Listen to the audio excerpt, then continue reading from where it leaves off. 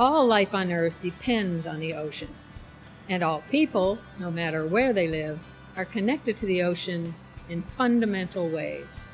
Hi, I'm Wendy Watson Wright, CEO of the Ocean Frontier Institute, or OFI, an interdisciplinary transnational hub for ocean research based in Halifax, Nova Scotia, Canada.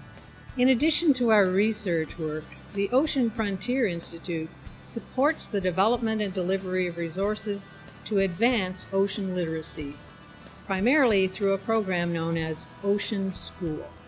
Ocean School is an innovative initiative of Dalhousie University, the National Film Board of Canada, and OFI. It combines leading edge audiovisual and teaching technologies with forward thinking approaches to create compelling experiences for learners inside and outside the classroom. It's educational, it's fun, and it's important work.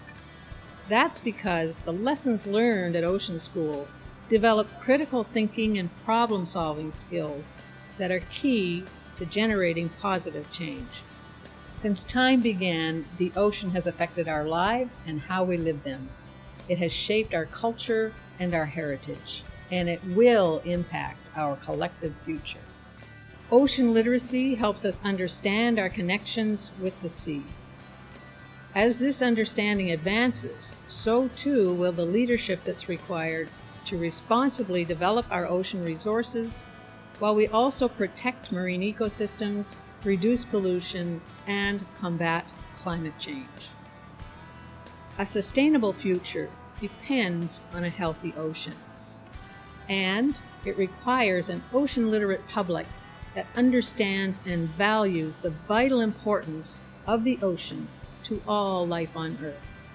We can all play a role in advancing ocean literacy by sharing what we know, seeking new knowledge, and always advocating for the safe and sustainable use of our one and only global ocean.